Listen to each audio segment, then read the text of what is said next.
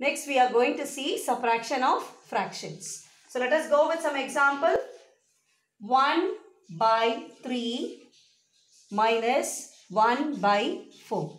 So here also we have different denominators. So in order to have similar denominator, we are going to find LCM of these two denominators.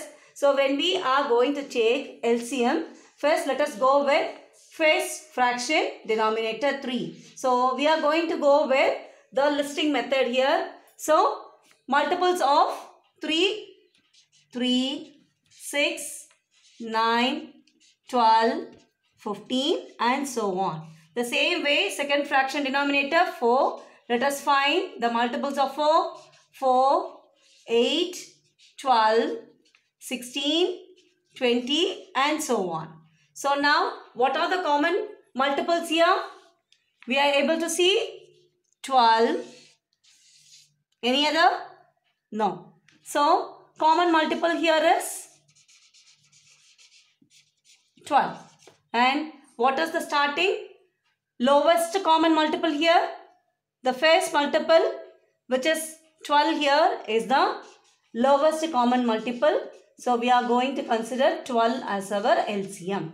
So in order to have 12 in our denominators, we are going to multiply with the denominator of the fraction. So let us take first 1 by 3. So in order to have my denominator 12, what multiple I will be multiplying here? 4.